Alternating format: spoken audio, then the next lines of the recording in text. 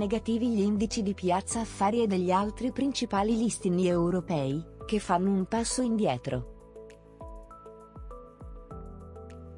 Tra le migliori azioni italiane a grande capitalizzazione, si muove in territorio positivo Banca MPS, mostrando un incremento del 2,33%. Le più forti vendite si manifestano su Moncler, che prosegue le contrattazioni a meno 2,24%. Tra le principali materie prime, lieve aumento per l'oro, che mostra un rialzo dello 0,23%.